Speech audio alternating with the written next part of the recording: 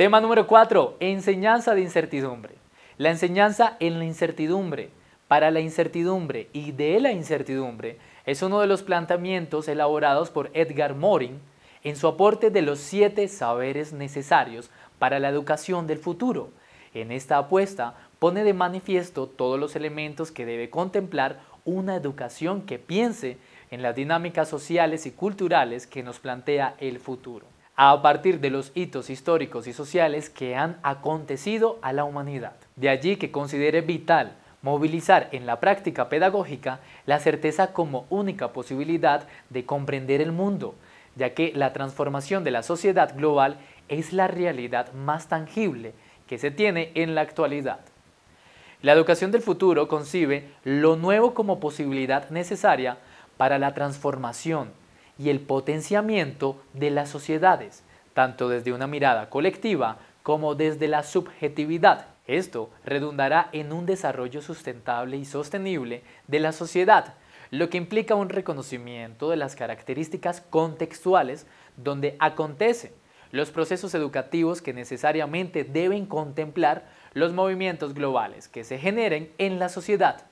la política, la economía y sin duda alguna la tecnología. Para ello, el autor define siete saberes que buscan movilizar las acciones y las prácticas educativas, las cuales son error e ilusión, el conocimiento, enseñar la condición humana, enseñar la identidad terrestre, afrontar la incertidumbre,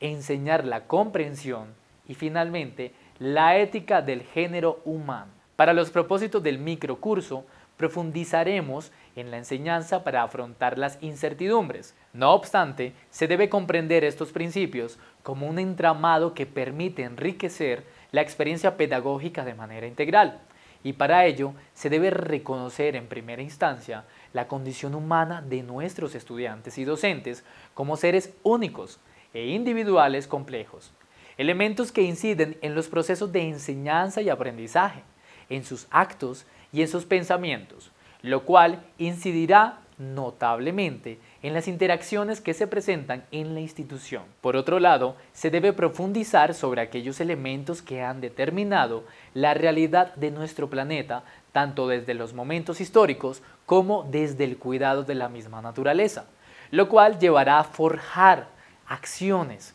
decisiones y pensamientos que enriquezcan las condiciones terrestres de la comunidad. Este aspecto debe redundar en acciones cotidianas que favorezcan el cuidado del entorno, bajo la premisa que dichos actos no solo impactarán los escenarios cercanos, sino el mundo en su globalidad. Otro saber que plantea el autor contempla el reconocimiento de la diversidad social, enseñar la comprensión del otro.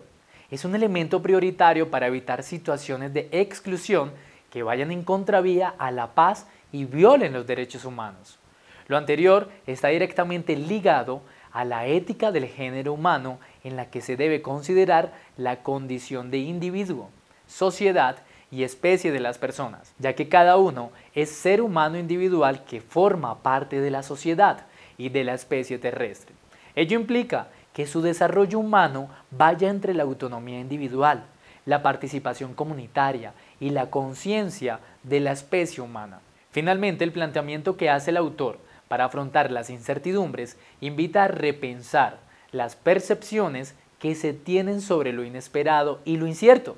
de manera que no impliquen desequilibrios o inseguridades, sino que por el contrario, nuestros estudiantes puedan generar estrategias para afrontar la incertidumbre. Para ello es necesario brindar las informaciones necesarias previamente para que les permita plantear alternativas de solución a los problemas y así acercarse a la certeza. Sin embargo, el mundo siempre plantea retos de novedad, tanto en la vida cotidiana como en los procesos educativos e investigativos. De allí que abordar la enseñanza de las incertidumbres permitirá preparar las mentes de nuestros estudiantes para identificar diferentes alternativas o posibles soluciones ante lo inesperado y lo imprevisible. Respecto a los planteamientos de Edgar Morin, las instituciones deben plantear cuestionamientos que permitan orientar las prácticas pedagógicas ante los retos que nos propone, tanto las realidades futuras como las realidades presentes, que se encuentran en permanente cambio y transformación y requieren seres humanos que vayan comprendiendo las dinámicas que día a día se presentan y que buscan una transformación positiva del mundo que nos rodea, siendo la escuela un escenario fundamental para dichos cambios en la sociedad. Es preciso aclarar que estos siete saberes no solo están enfocados en las prácticas educativas de la educación formal, sino que debe permear los escenarios familiares y sociales donde se desarrollan los niños y los jóvenes, para que como sociedad nos vayamos preparando y comprendiendo las nuevas formas de ser, estar y hacer en el mundo que vivimos.